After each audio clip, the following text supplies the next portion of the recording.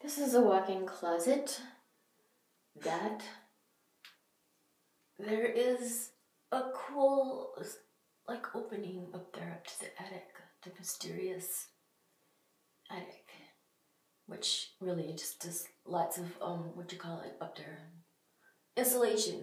Yeah, insulation.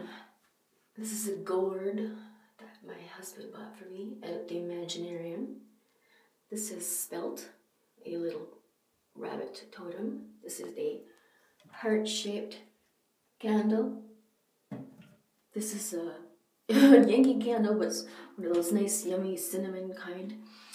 This is a bowl of shells.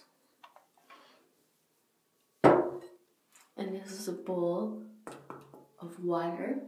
It's a bowl of water that's just sucking in like all the old energy that's in here. It's gonna go in the water, and then I'm gonna take this water and pour it out. Gone. Whoa! There's over here. I was uh, doing some frankincense on a charcoal thing. Old light.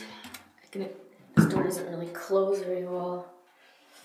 It's, it's pretty big in here, actually. It's really actually pretty big. I'm just totally, and here's how short I am. I can actually stand underneath underneath this this shelf because I'm only five foot one and this is up higher than I am.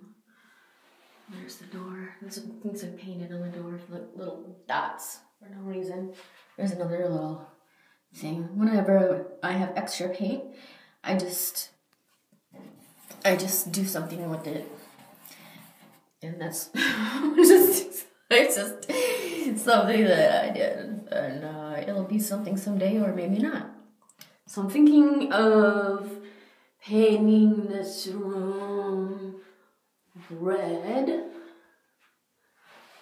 Or should I paint this room like white? I'm not really sure.